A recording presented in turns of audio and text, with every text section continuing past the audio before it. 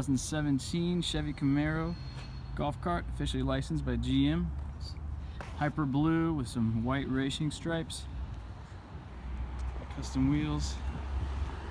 The interior on this is standard, but included in the price, you get to choose your own custom interior.